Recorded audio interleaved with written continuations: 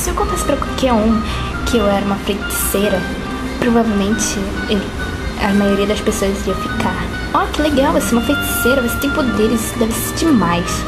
Ah, Não nas minhas condições. Existem seis tipos de feiticeira: luz, terra, fogo, neve, água e sombra. Eu sou uma feiticeira da sombra.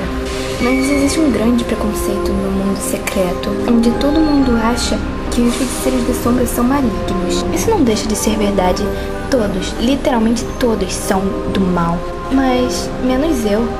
E toda vez que eu passo na rua, as pessoas me olham estranhas, com medo de mim, sem saber o que eu realmente sou.